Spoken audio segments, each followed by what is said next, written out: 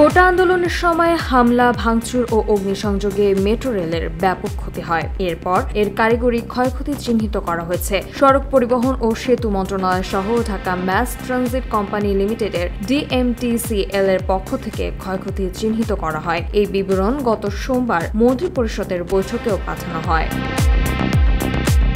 এতে বলা হয়েছে, গত আঠারো জুলাই থেকে চলমান কোটা সংস্কার আন্দোলনের সময় নাশকতার মাধ্যমে ডিএমটিসিএল এর মিরপুর দশ ও কাজীপাড়া মেট্রো স্টেশনে ব্যাপক ধ্বংসযোগ্য ভাঙচুর ও লুটপাট চালানো হয়।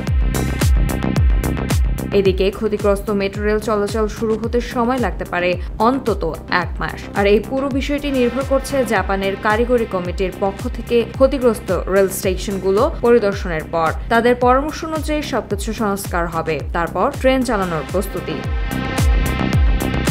দুর্বৃত্তদের হামলায় মিরপুর দশ স্টেশনের civil electrical mechanical building management system, telecommunication system, শীততাপ নিয়ন্ত্রণ ব্যবস্থা প্রায় শতভাগ ক্ষতিগ্রস্ত হয়েছে। কাজীপাড়া স্টেশনে বিভিন্ন সিস্টেম ক্ষতিগ্রস্ত হয়েছে।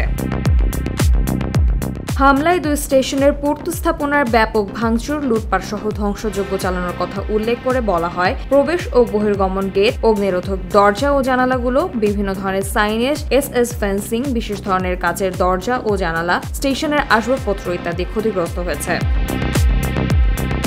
ক্ষতিগ্রস্ত ইলেকট্রিক্যাল এবং মেকানিক্যাল কাজের মধ্যে রয়েছে অগ্নি নির্বাপক ও শনাক্তকরণ system fire fighting system building management system শীতাতাপ নিয়ন্ত্রণ ব্যবস্থা, চলন্ত সিঁড়ি, বিশেষ ধরনের সুইচ কাফুল থানায় একটি ও মিরপুর মডেল থানায় নিয়মিত মামলা দায়ের হয়েছে বলেও প্রতিবেদনে উল্লেখ করা হয়।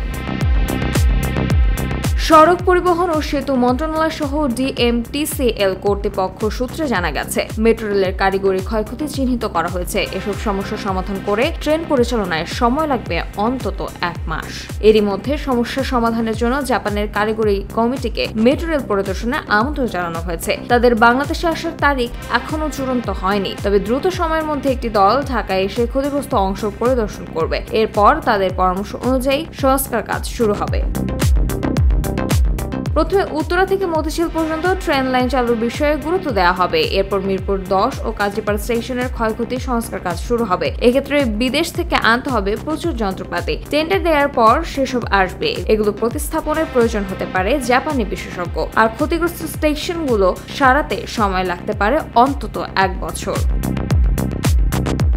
ডিএমটিসিএল এর সচিব আব্দুর রৌফ বলেন, মেট্রো কবে নাগাদ চালু হবে এ ব্যাপারে সুনির্দিষ্টভাবে কিছু বলা যাচ্ছে না। আমরা এটি চালুর ব্যাপারে আন্তরিক চেষ্টা চালিয়ে যাচ্ছি। ডিএমটিসিএল পরিচালক নাসির উদ্দিন আহমেদ বলেন, কবে থেকে মেট্রো চালু করা যাবে এ ব্যাপারে কোনো সিদ্ধান্ত হয়নি। সম্ভাব্য কোনো সময়সীমা বলাও সম্ভব নয়। সবচেয়ে বড় বিষয় হলো মেট্রোর প্রতিটি স্তর টেকনিক্যাল এ কারণে ট্রেন পরিচালনা করা যাচ্ছে না।